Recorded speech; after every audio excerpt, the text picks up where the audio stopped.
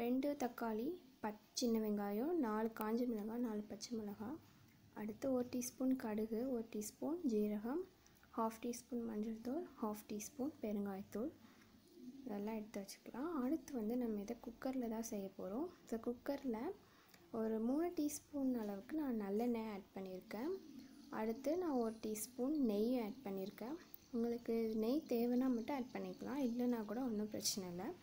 அடுத்து ஒரு டீஸ்பூன் கடுகும் ஒரு டீஸ்பூன் ஜீரகம் நம்ம எடுத்து வச்சுருந்ததுல இதில் போட்டுக்கலாம்.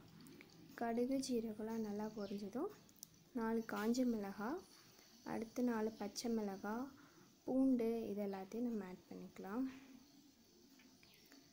அடுத்து நம்ம பத்து சின்ன வெங்காயம் நம்ம கட் பண்ணி வச்சுருக்கதை இதில் ஆட் பண்ணிக்கலாம்.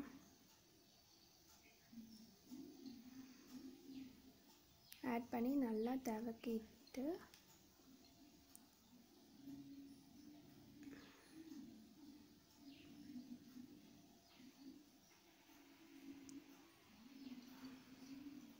தவக்கினதுக்கப்புறம் நம்ம வந்து கருவேப்பிலை ஆட் பண்ணிக்கலாம்.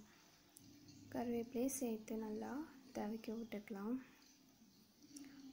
அடுத்து வெங்காயம் நல்லா தவங்கினதும் நம்ம கட் பண்ணி வச்சுருந்த ரெண்டு தக்காளியையும் இதில் ஆட் பண்ணி நல்லா தவக்கிக்கலாம்.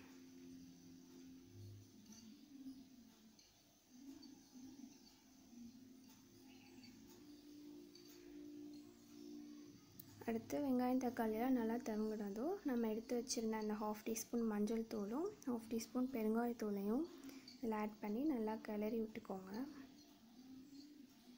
அடுத்து ரெண்டு டீஸ்பூன் சாம்பார் தூள் வந்து நான் ஆட் பண்ணியிருக்கேன்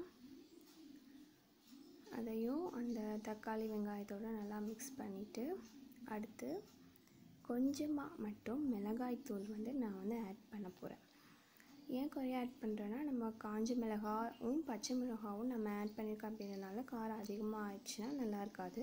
அதனால் கொஞ்சமாக மட்டும்தான் நான் ஆட் பண்ணியிருக்கேன் உங்களுக்கு மிளகாய்த்தூள் தேவைன்னா மட்டும் நீங்கள் ஆட் பண்ணிக்கலாம் இல்லைன்னா வேணாம்.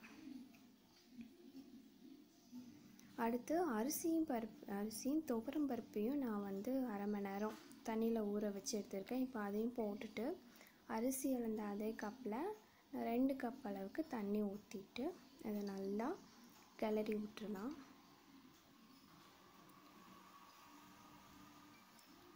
அதுக்கப்புறம் தேவையான அளவுக்கு உப்பு போட்டு அதை நல்லா நம்ம கிளறிடும் அவ்வளோதான்.